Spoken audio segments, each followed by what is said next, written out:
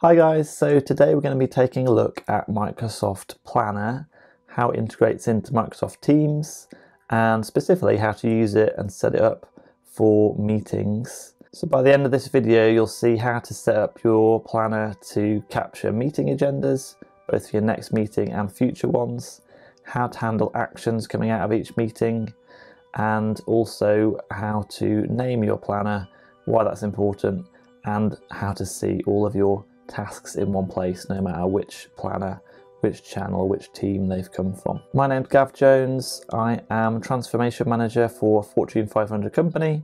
My job is basically training people how to get onto Teams and use the full Office 365 package and get the most out of it. So, all these tips have come from seeing real life struggles in a large organization and hopefully they'll be of use to you as well. So remember to subscribe and hit the bell icon so you get notified about our new videos coming out. We've got a new one coming out every Tuesday. And then let's get into taking a look at Planner.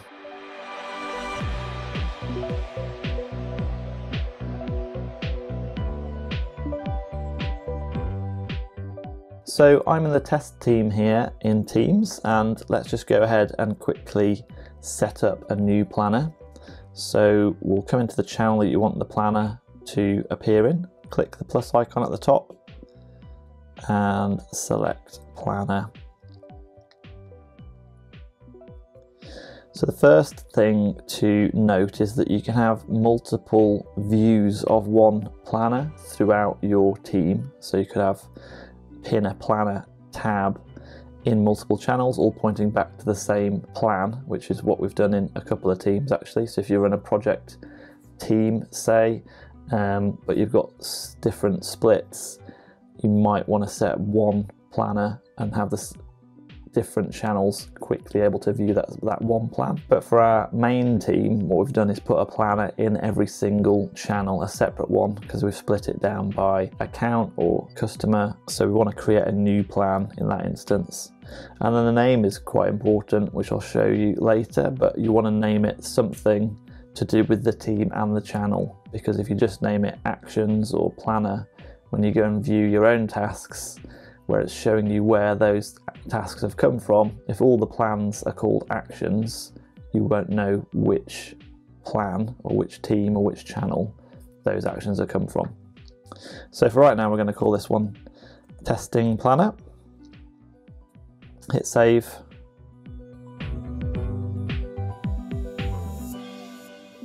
And then by default, you get one bucket called to do and then you can add as many buckets of tasks as you want.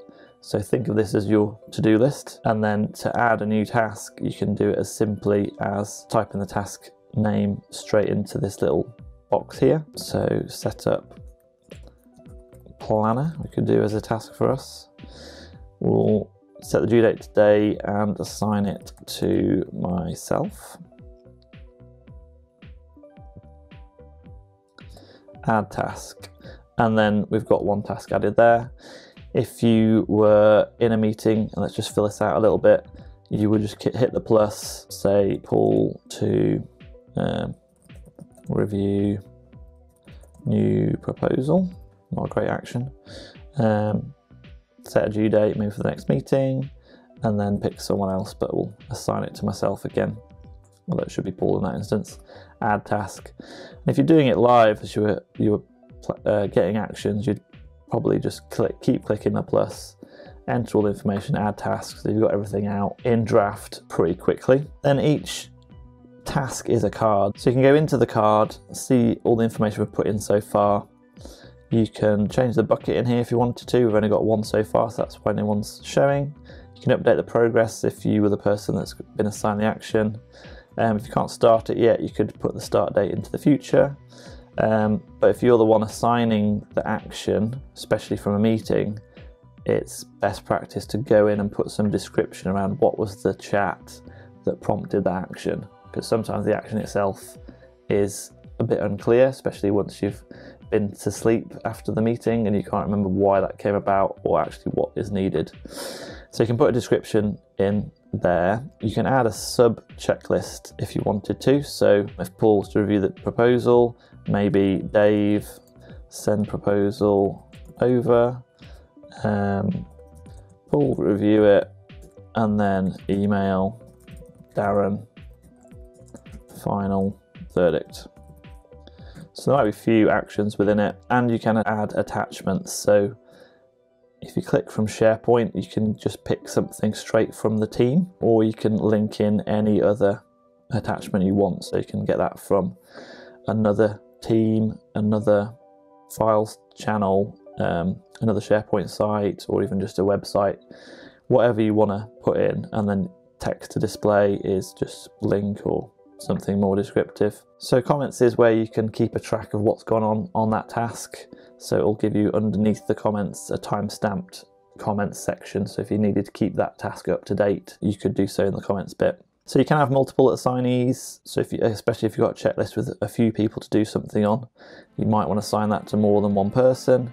What you need to be careful of when assigning something to more than one person is that if they don't know that they're only to tick the checklist and not the main, yeah, I've done it, completed, to get it out of their queue, they'll complete the task for everybody, even though all the steps might not be complete yet. So ideally, we want to have a separate task for every person that's assigned to avoid that. It's a bit of extra work, but you can easily copy a task with the three dots there, or on the main screen with the three dots there and copy task. Say which things you want to include or, or not when you're copying it, and you can put a new task name in there and then assign it to somebody else. Okay, so I'd recommend keeping the to-do list at the side. How to set it up for a meeting is you might have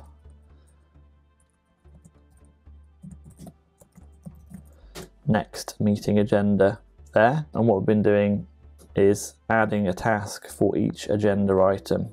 So meeting open, finance review, um, maybe marketing section, uh, demand update. So adding every, anything that you want to run through in the meeting as an agenda item. You can then, as I said, everything is a card. So you can either think of it like an action or you can think of it like a card. So we can just drag and drop the order if we want to rearrange the meeting. And then as we're getting closer to the meeting, people can go and add in their own ideas about what they want on the agenda.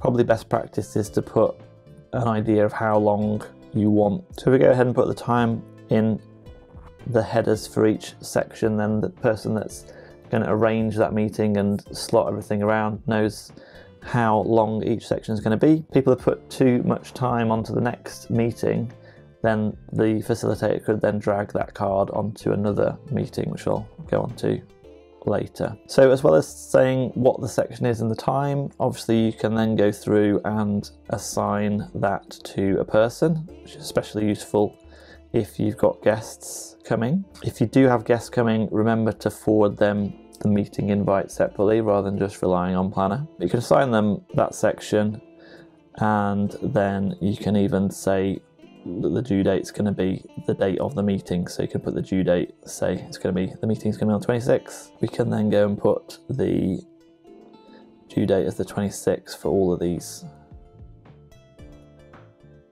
So that anyone that's assigned knows that that is for that meeting.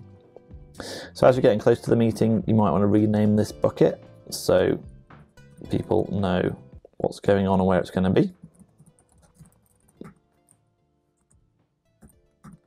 But please remember to send them the meeting invite as well so it's blocked out in their calendar. Otherwise, they're likely to get stuff coming in, they'll forget they're supposed to turn up to your meeting. So, is this making sense so far?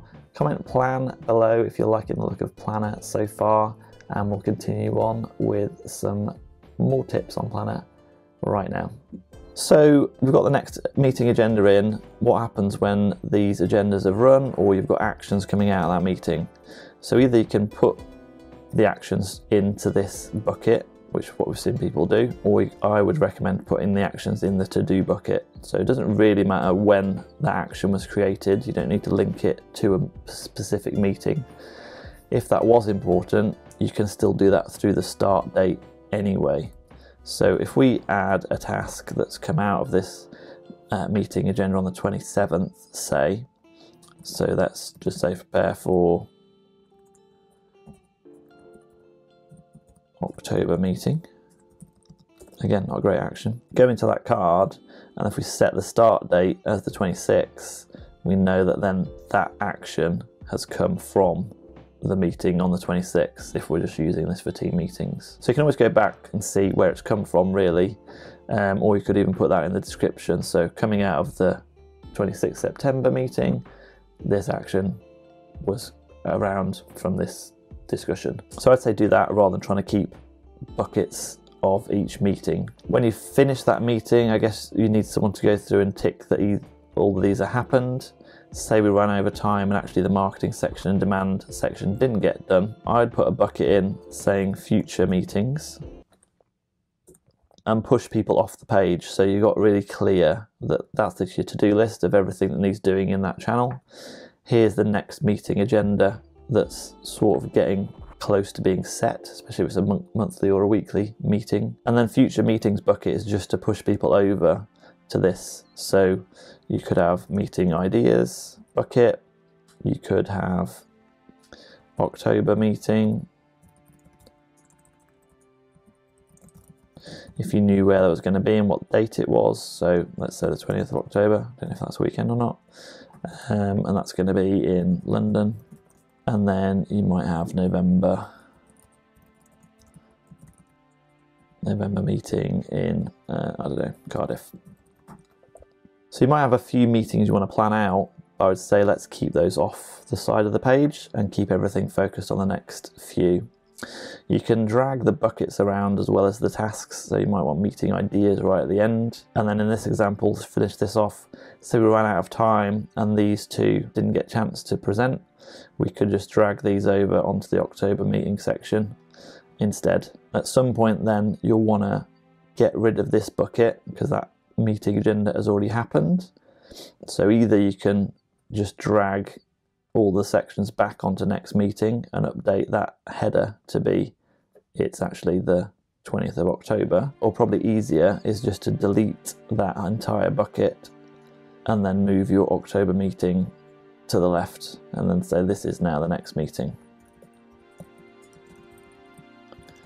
And again, go through and fill out, assign someone that's going to present to each section and the due date as the date of the meeting. So if you're a guest and you've only got one action coming through as one meeting agenda item, you know what date that meeting is for. So the other option if you wanted to have view of what previous meetings agendas have been, which possibly want to do, is to do the opposite what I just did. So don't delete that bucket, maybe drag it to the end and just have a section called previous meetings So Again, you can still, if you set the start date or the due date, you can still go through and see which meeting that agenda was for. So I would say that's a great way to set out your planner, both for actions and regular meetings. If you wanted any other buckets and to split your to-do list down, you can still do that by having as many buckets as you want just be mindful of how you set it out that people don't want to scroll across for ages. So that's why I've set just the next two biggest things, so your to-do list and the next meeting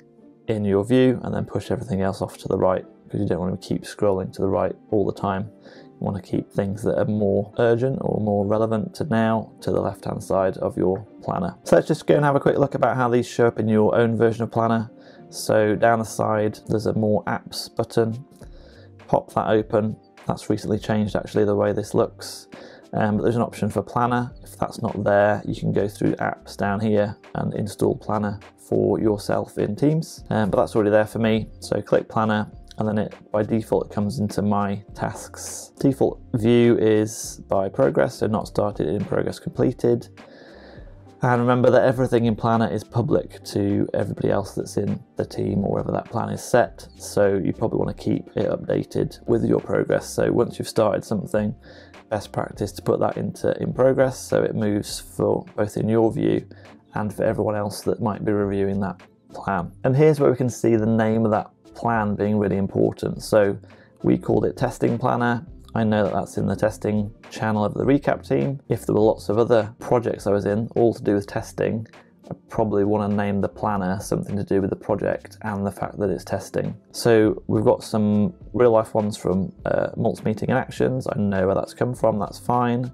Um, there's one plan that we had down here that was when we first started on Teams and we just called the planner actions for that project. If all the planners were called actions, I wouldn't know where that had come from. So that's why I was saying earlier, in this view, this is where it's really important about what you name your planner. So you want it to do something with the team and or something to do with the channel that you put that planner in. But everything that you can do in planner in the main view, you can do in your own view here. So activities where if someone assigns you something now, you'll get pinged in Teams. Um, it's only if someone else assigns you the task that you'll get notified. But you do get notified in the activity feed and it appear in your chat when you get pinged. You also get an email by default say someone's assigned you a action. And then you can see every plan that you are in, which for us is a lot because we've got a planner in every single channel in our main team. So guys, hopefully that was useful. That was our first look at Microsoft Planner in Microsoft Teams, how to use it for meeting agendas and actions that we've seen in real life across a large team of over 130 people for the past year. So hopefully those tips will be useful for you as well.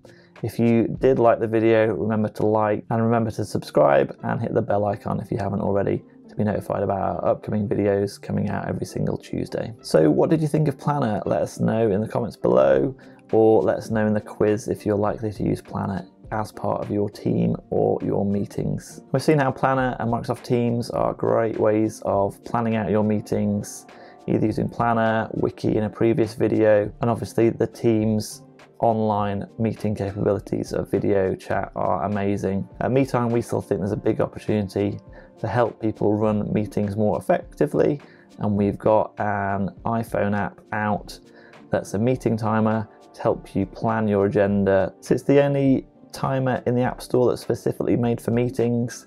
It helps you start on time and keep on track. If you do go over time, it'll split the rest of the time down for you so you still finish on time. We think it's really useful and we'd love it if you checked it out. So search for MeeTime in the App Store or visit our website at www.meetimeapps.com. Both of those will be linked in the description below. So thanks for watching so far and we'll see you in the next video.